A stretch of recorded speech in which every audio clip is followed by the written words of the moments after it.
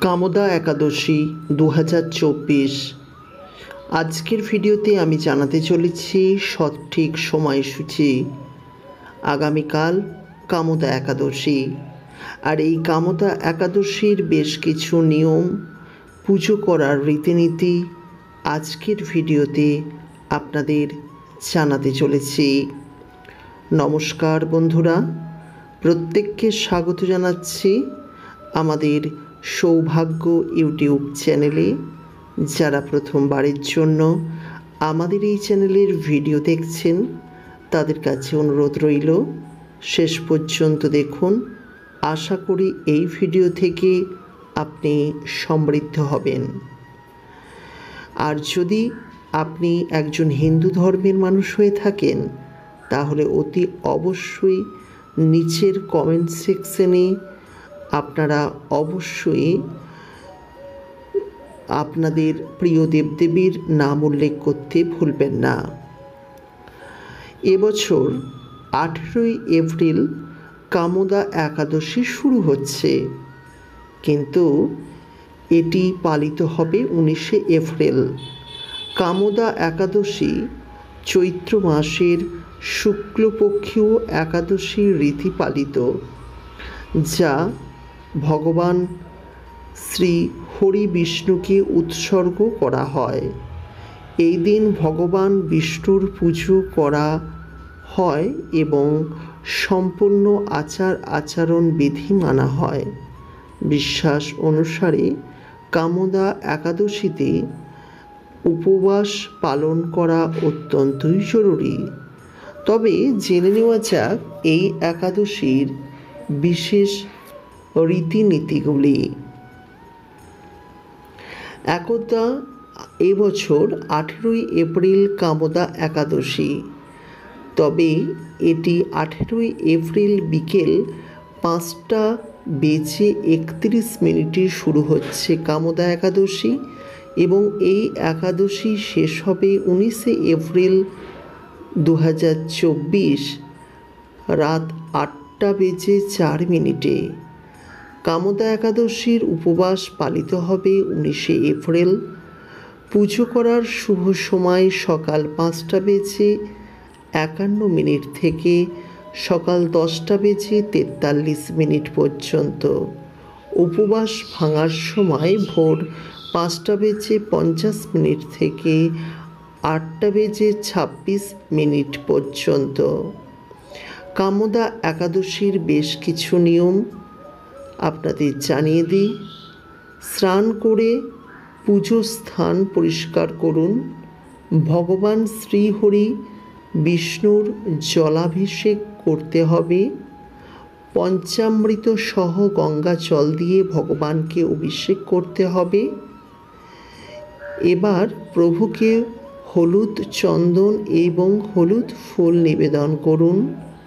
মন্দিরে প্রদীপ জ্বালাতে হবে। সম্ভব হলে উপদোষ রাখতে হবে। কামদা একাদশীর পুজোতে দ্রুত মন্ত্রপাঠ করতে হবে। ওম নম ভগবতে বাসুদেবায়, এই মন্ত্র অতি অবশ্যই পাঠ করুন। পূর্ণ ভক্তি সহকারে ভগবান শ্রীহরি, বিষ্ণু ও লক্ষ্মীর আরতি করুন। তুলসী সঙ্গে ভগবানকে অন্ন নিবেদন করুন। কামদা একাদশীর পুজো পদ্ধতি, কামদা একাদশীর দিন সকালে ঘুম থেকে উঠে স্নান করে পরিষ্কার কাপড় পরুন, তারপর মন্দির পরিষ্কার করুন, তারপর একটি হলুদ কাপড় বিছিয়ে ভগবান বিষ্ণুর মূর্তি স্থাপন করুন। ওং নম ভগবতে বাসুদেবায়। মন্ত্র উচ্চারণ করার সময় ভগবান বিষ্ণুর মূর্তিকে পঞ্চামৃত দিয়ে স্নান করান এবং বস্ত্র, চন্দ্রন, পবিত্র সুতো, ঘ্রাণ, অক্ষয় ফুল, তিল, ধূপকাঠি, নৈবেদ্য, মৌসুমি ফল, পান, নারকেল অর্পণ করুন। এরপর একাদশী যে বিশেষ মাহাত্ম্য পাঠ করুন ও একাদশীর উপোস এবং পুজো আরতি করুন। কামদা একাদশী আপনি মন্ত্রপাঠ করবেন, নৈবেদ্য ভগবান শ্রীহরি বিষ্ণুর আশীর্বাদ পেতে এই দিন গুড় ছোলা ডাল, কলা বা পঞ্চামৃত দিতে পারেন। নৈবেদ্যতে তুলসী পাতা দিতে ভুলবেন না। মন্ত্র, ওং নম ভগবতে বাসুদেবায়, ওং নম ভগবতে বাসুদেবায়, ওং নম ভগবতে বাসুদেবায়।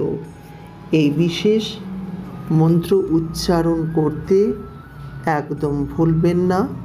এইভাবেই কামদা একাদশীর দিন শ্রীহরির পুজো করুন।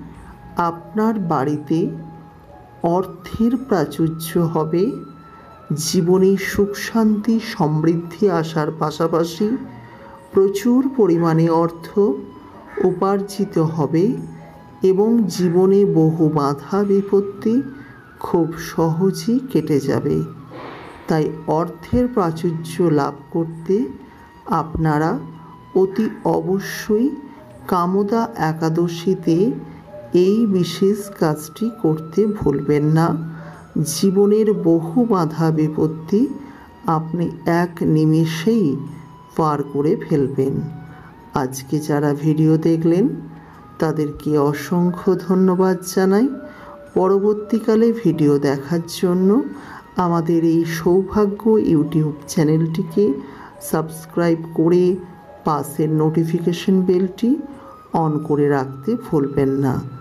আজকের মতো বিদায় নিচ্ছি। ভালো থাকবেন, সুস্থ থাকবেন এবং অতি অবশ্যই আমাদের প্রত্যেকটি ভিডিও দেখতে থাকবেন। নমস্কার, দেখা হচ্ছে নতুন ভিডিওতে।